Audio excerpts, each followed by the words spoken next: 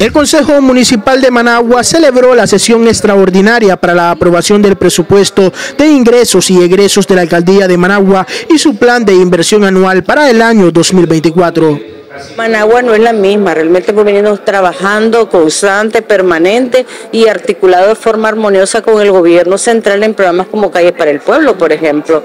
Así es que nosotros hemos venido eh, ya en un comportamiento ya este, creciente en los diferentes proyectos y programas. Así es que hoy estamos contentos, hoy aprobamos nuestro presupuesto municipal que eh, eh, veremos en el 2024 reflejado ya en los proyectos que, que llevaremos a las comunidades.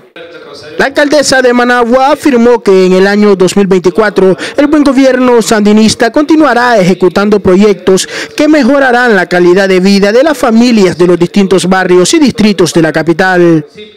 Estamos muy contentos, realmente es un presupuesto histórico para el año 2024. Estamos hablando de más de 12 mil millones de Córdoba, ¿verdad? En proyectos, en bienestar, en seguridad de la familia. Continuamos eh, reduciendo significativamente la vulnerabilidad a través de, los proyectos de mejoramiento vial, los proyectos de drenaje pluvial. Seguimos construyendo las micropresas que, hemos tenido planificado y todo esto es eh, consultado con nuestro con nuestro pueblo, en este caso con una familia de los diferentes barrios y, comunidades de nuestro municipio de Managua. Estamos hablando más de, 500 proyectos que vamos a, a construir, vamos a llevar a los diferentes barrios en el 2024.